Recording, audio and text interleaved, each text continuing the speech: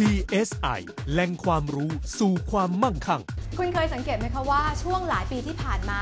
อัตราค่าครองชีพของเรานั้นปรับตัวเพิ่มขึ้นมาเรื่อยๆ นั่นก็เพราะอัตราเงินเฟ้อค่ะ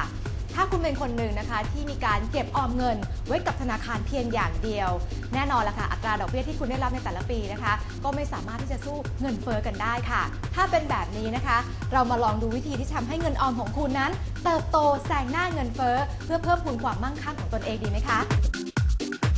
วางแผนการลงทุน จะเป็นทางลัดพาคุณไปสู่ความมั่งคั่งได้ค่ะ เพราะยิ่งคุณออกตัวได้ดี ตั้งต้นได้เร็ว และลงทุนตามแผนที่วางไว้ คุณก็ไปถึงจุดหมายปลายทางได้ไวกว่าที่คิดค่ะ สิ่งที่คุณควรจะรู้ก่อนวางแผนการลงทุนนั่นก็คือลำดับแรก รู้จักตนเองก่อนว่าจะลงทุนเพื่ออะไร รับความเสี่ยงได้แค่ไหน และต้องการผลตอบแทนเท่าไหร่ เพื่อที่คุณจะได้จัดสรรเงินลงทุนได้ตรงกับเป้าหมายที่ตั้งเอาไว้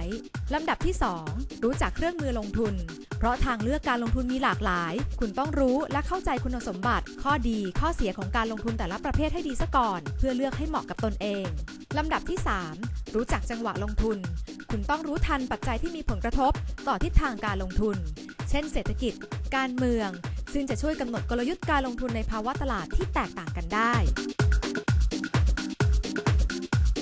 เพียงเท่านี้นะคะคุณก็พร้อมที่จะลงทุนกันแล้วค่ะ แต่อย่าลืมนะคะว่า การลงทุนมีความเสี่ยง คุณควรศึกษาข้อมูลอย่างละเอียดก่อนตัดสินใจลงทุน และที่สำคัญนะคะ ต้องวางแผนทางภาษีด้วยนะคะ เพราะว่าการลงทุนในกองทุนบางประเภทนะคะ ไม่ว่าจะเป็น LTF RMF หรือว่าการประกันชีวิต สามารถที่จะนำไปลดหย่อนภาษีกันได้ค่ะ เพราะฉะนั้นนะคะ คุณจะได้ทั้งเงินออมนะคะ แล้วก็เงินไปลดหย่อนภาษีด้วยค่ะ